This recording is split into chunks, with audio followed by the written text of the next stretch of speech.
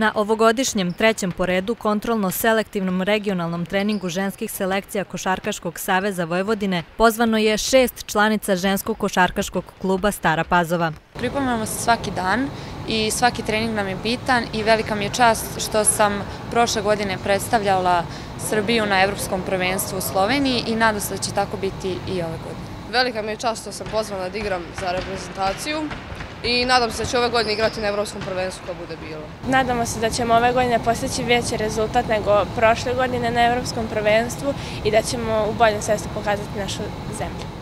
Svake godine Košarkaški savez Srbije po regionima organizuje regionalne treninge gde se pozivaju sve kvalitetne mlade košarkašice. Na ovom trećem selektivnom kontrolnom treningu na nivou Vojvodine pozvano je 52 devojčice rođene 2004. 2005. i 2006. godine. To je neka priprema za ono što toj deci sledi u nekom narednom periodu, a to su ta kadetska reprezentacija. Ovo je neki prvi filter za svu decu ovaj, da, da, da se okupljaju, da imamo uvid u njih, da uđu u spiskove reprezentativnih selekcija ovaj, i tako pratimo njihov razvoj u nekoj saradnji sa klubovima.